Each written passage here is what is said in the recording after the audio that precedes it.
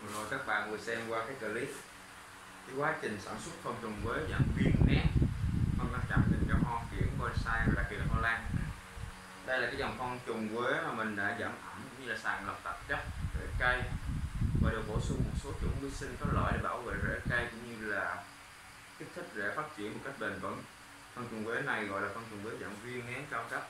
Và đây là cái quá trình à, sản xuất của mọi nhân hy vọng là trong thời gian tới sẽ có nhiều hộ gia đình ở đô thị, những người yêu hoa và cây cảnh bonsai sẽ sử dụng sản phẩm này cho hộ gia đình của mình để góp phần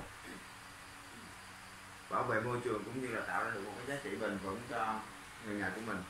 Con cùng với cảm viên và cảm ơn mọi người và hẹn gặp lại mọi người trong những clip tiếp theo. Giới thiệu những